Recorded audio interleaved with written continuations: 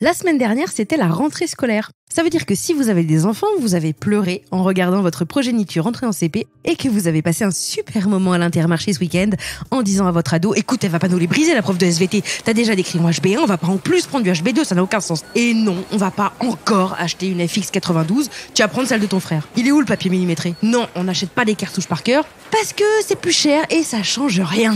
Et puis après, vous avez pleuré devant tes copies doubles.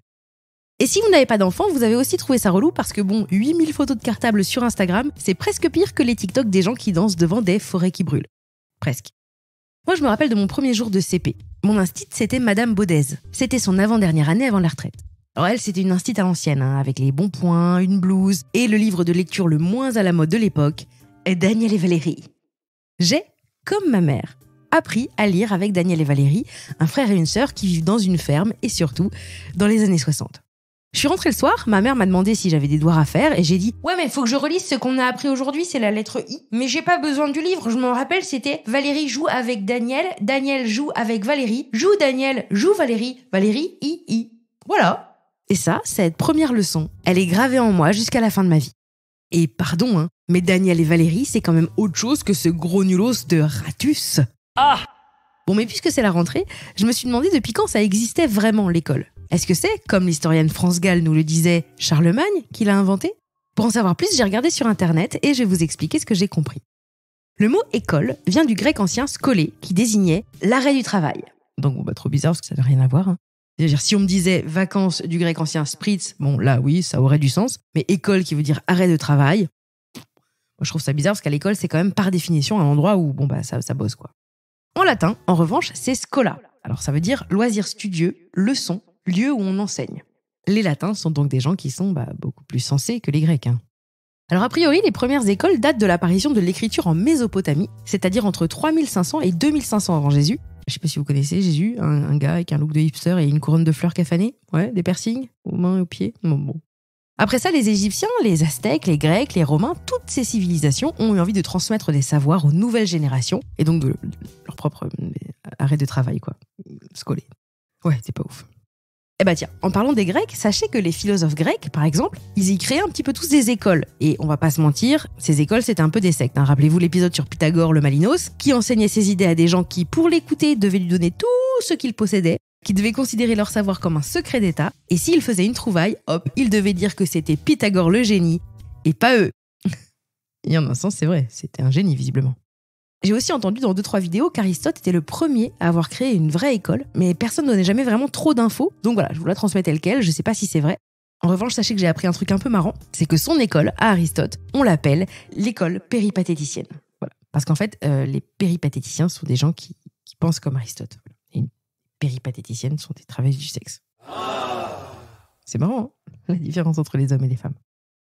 Bref, en tout cas, j'en apprends des choses hein, grâce à l'école. Donc bon, pendant un paquet d'années, la seule catégorie de personnes qui recevaient une éducation, c'était les prêtres, parce que j'imagine qu'il fallait qu'ils apprennent à lire la Bible, quoi. Pendant des siècles, ça allait à tout le monde, et puis en 789, Charlemagne, hein, le, nouveau chef de la Startup Nation, il n'a pas l'idée folle d'inventer l'école, non, mais l'idée assez cool d'obliger tous les mecs à apprendre ce que lui-même ne sait pas faire, lire et écrire. Enfin, lire, il va apprendre à la fin de sa vie. Mais je l'imagine, le Charlemagne de 65 balais. Valérie joue avec euh, da, Daniel, ok. Daniel joue avec Valérie. Joue Daniel, joue Valérie. Valérie, I, comment? Oui, c'est étrange que ce chevalier s'amuse avec cette gueuse. Ça doit être un péripatéticien. En gros, en 789, il charge les membres du clergé de donner une instruction religieuse aux petits garçons. Donc évidemment, c'était pas obligatoire, donc les pauvres y séchaient, mais les riches, ces gros faillots, ils ont dit nous allons le faire pour nos enfants. Et puis vu qu'ils étaient pas obligés de travailler des trois ans pour survivre, c'est bien, ça leur a fait une petite occupation aux petits riches. Les leçons, c'était les précepteurs qui les faisaient et ils étaient membres du clergé. En fait, l'enjeu pour Charles Le, c'est de christianiser massivement la France. Il dit qu'on rassemble les fils de conditions modestes et les fils bien nés, qu'on établisse des écoles pour l'instruction des garçons, que dans chaque monastère on enseigne les psaumes, les notes, le chant, le compute, la grammaire, et qu'on dispose de livres bien corrigés. Voilà, donc je résume, les précepteurs doivent apprendre aux enfants le catéchisme, oui, mais aussi le compute, aucune idée ce que c'est, la lecture, le calcul et le chant. C'est la Starac, mais en chiant, quoi. Aujourd'hui au château, grosse journée pour nos élèves qui suivent assidûment tous les cours dispensés par l'Académie de Milady Laroche-Joubert. Reportage. Ah, salut Jennifer Salut Perceval, salut Albéric, ça va? Ouais, bah bof, on se dépêche, on avait cours de chant avec Armand Altaï, mais là on a cours de maths avec Monsieur Adjaou sur les équations à deux inconnus. Ah ouais, trop dur. J'espère qu'on va pas se planter aux évals. Allez, je vais réviser ma chanson Spiritus Dei. Je vais la chanter avec les prêtres et Vincent Niclot au prime. Oh la chance Pendant longtemps, l'utilité de l'école, c'était de transmettre la religion. Alphabétiser, ça servait surtout à faire adhérer tout le monde d'abord au catéchisme, puis au catholicisme. Et cette vision, ça a duré un paquet de temps. Par exemple, Louis XIV, le crassou, toujours lui, a décidé de révoquer l'édit de Nantes en 1679. Alors pour rappel, l'édit de Nantes, hein, c'est le moment où on autorise les protestants à pratiquer librement leur religion, qui est grosso modo, et j'espère que je vais offenser personne, parce que si c'est le cas, je suis vraiment désolée, mais en gros c'est euh, c'est une variante du catholicisme, c'est-à-dire que les catholiques et les protestants croient dans le même Dieu et se basent tous les deux sur la Bible. Mais les protestants, justement, ils ne se basent que sur la Bible. Ils sont pas ok avec le pape, les curés, tout ça, c'est pas leur délire. Et d'ailleurs, le pape à l'époque, c'était quelqu'un de très très très très très puissant. Il pouvait partir en guerre et tout. Et ça, les protestants, ils aimaient pas. Ils aimaient pas non plus l'utilisation qui était faite par les catholiques de la Bible. Et cette vision, elle commence à avoir son petit succès partout en Europe. Et on appelle cette période la réforme protestante. Et donc ça, euh, Louis XIV, qui est des protestants et qui est une réforme protestante, ça lui plaît pas du tout. Je vous rappelle que s'il est roi, c'est par la volonté de Dieu. Et qui nous rappelle quelle est la volonté de Dieu? Eh bien, c'est le pape. Donc ni le pape ni lui n'ont intérêt à ce que les protestants soient plus nombreux que les catholiques. Donc l'édit de Nantes, qui je vous le rappelle autorise les protestants à pratiquer leur religion, eh ben il le révoque. Et là, bon bah si vous avez suivi la famille Fabergé part en Russie pour pouvoir pratiquer sa religion tranquille, mais surtout en France, Louis il se dit bon bah tous ces petits protestants, comment on pourrait faire pour qu'ils se convertissent au catholicisme maintenant? Et ben en leur forçant à apprendre. C'est donc ainsi qu'il oblige tous les garçons jusqu'à 14 ans à aller à l'école, qui en général se trouve chez les maîtres et donc bah, chez les prêtres. Hein. Les cours ont lieu d'octobre à mars parce que le reste du temps, les enfants doivent bosser avec leurs parents. Alors il y a quand même des protestants qui se rebellent secrètement et qui créent des écoles secrètes dans les bois. Et aujourd'hui, une école secrète dans les bois, on appelle ça un cours de yoga bikram. Mais à l'époque, on appelait ça les écoles du désert. Mais comme c'est dans un bois, eh bien ce sont ces leçons qui ont donné naissance à l'expression faire école buissonnière. C'est fou, hein? L'étape suivante, c'est la révolulu. En 1789, ça y est, l'école commence à être pensée autrement. Bon. Alors juste avant, il y avait quand même eu ce bon vieux Jean-Jacques Rousseau qui pensait que les pauvres n'avaient pas besoin d'être instruits. Vous savez, le nombre de sans-dents qui sont forcés à lire ses confessions pour passer le bac maintenant, il serait trop dégoûté. Bref, donc vers 1789, il y a tout un nouveau mouvement d'intellectuels qui commence à penser l'école non comme un moyen d'endoctrinement, mais au contraire un moyen d'émancipation. Pour Talleyrand, L'instruction est un bien commun, universel, pour tous, quel que soit son sexe et son âge. Nul ne peut légitimement en être exclu. Condorcet, lui, il pense qu'il faut carrément que les gens aillent à l'école toute leur vie. Et pour résumer, ils veulent que l'école ne soit plus le lieu de la religion. Alors, c'est des belles idées, hein, mais ils n'arrivent pas trop trop à mettre en place leurs projets. Les instituteurs, vivent dans la misère, ils sont souvent obligés d'avoir un autre métier. Bah, comme aujourd'hui, en fait, hein, c'est marrant. Spécial dédicace à tous les instituts qui achètent eux-mêmes leur matériel et qui récupèrent tous les bouchons en plastique de leur premier et deuxième cercle pour faire des merdouilles pour la fête des parents. Franchement, vous avez du courage. Quelque temps plus tard, Napoléon, Napowan, comme on l'appelle, il devient euh, consul puis empereur et là il se dit bon, euh, l'éducation c'est la cata, on va organiser le bordel. Et lui il dit on va faire gérer les primaires par les églises et en revanche l'empire s'occupera d'enseigner au secondaire et au supérieur. Et pour finaliser le tout, il crée le bac. En 1833, la loi Guizot confie les enseignements primaires aux communes de plus de 500 habitants. Bon, en revanche, elles sont réservées aux garçons, elles sont pas obligatoires et elles sont pas gratuites. Mais le truc cool, c'est que les communes sont quand même obligées d'offrir l'enseignement aux enfants pauvres, et c'est l'équivalent d'un enfant sur trois. Ah, et aussi, on commence à créer des écoles d'instituteurs. Et là, vous vous dites peut-être, mais à quel moment on va commencer à enseigner aux petites filles? Non, mais c'est sympa, mais c'est sexiste pour le moment l'école.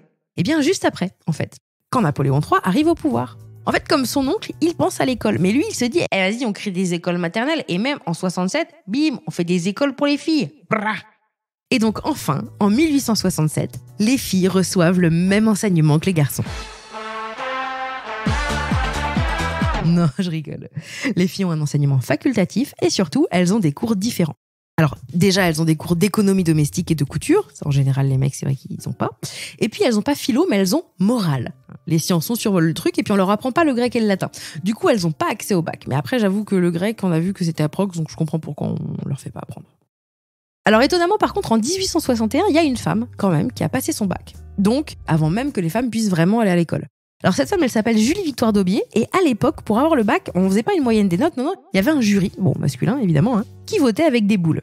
Blanche pour avis favorable, rouge pour abstention, noir pour avis défavorable. Bon, voilà, franchement, des mecs qui jugent avec des boules, je fais pas de blague, mais le cœur y est.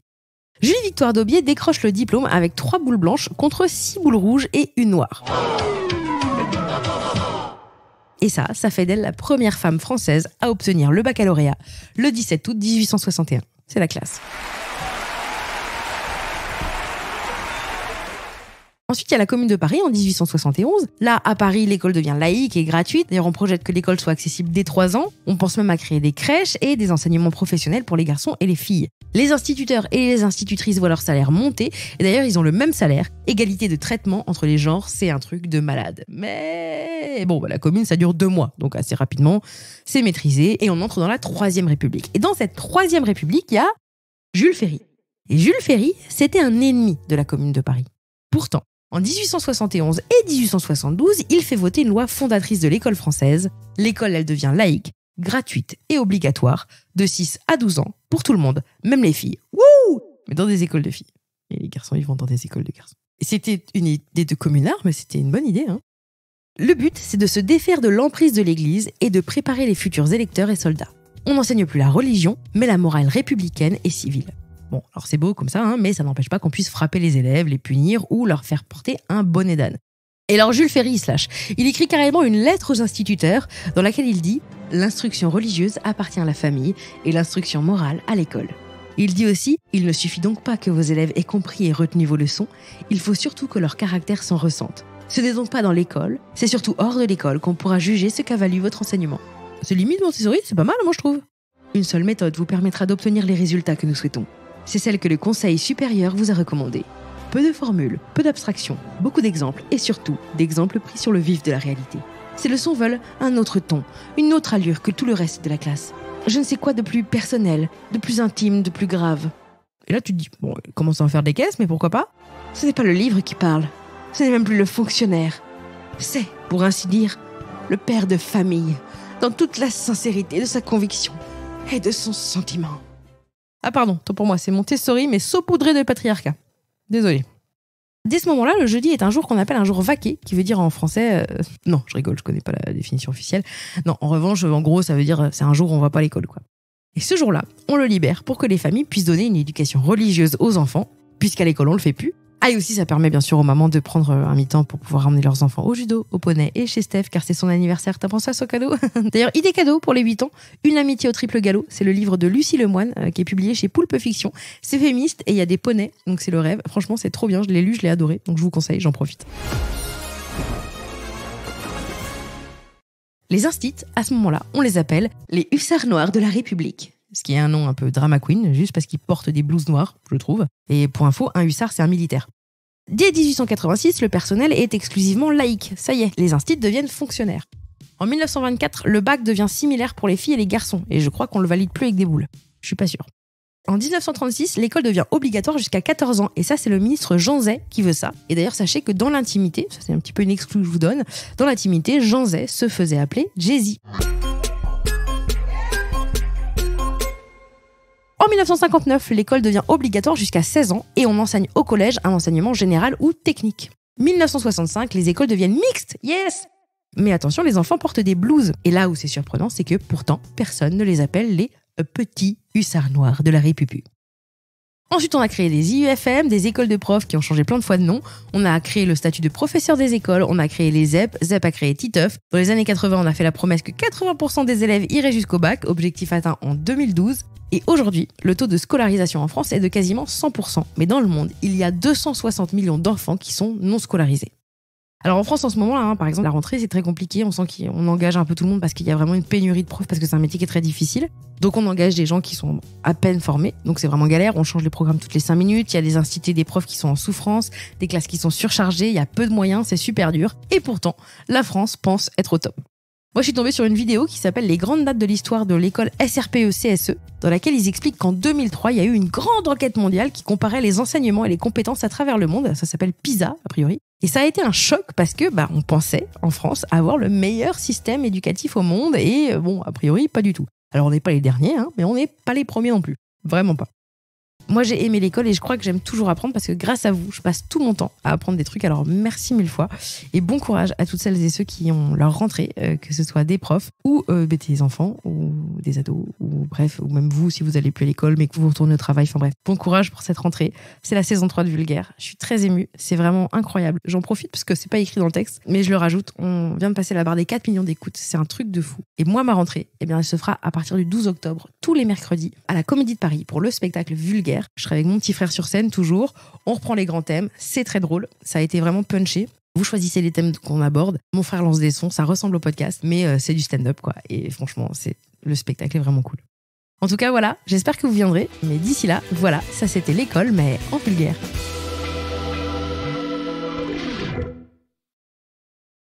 Ah, et sinon, moi, je m'appelle Marine Baousson. J'ai écrit, enregistré et produit ce podcast d'après des articles et des vidéos dont vous pourrez trouver les références dans les petites infos qui l'accompagnent.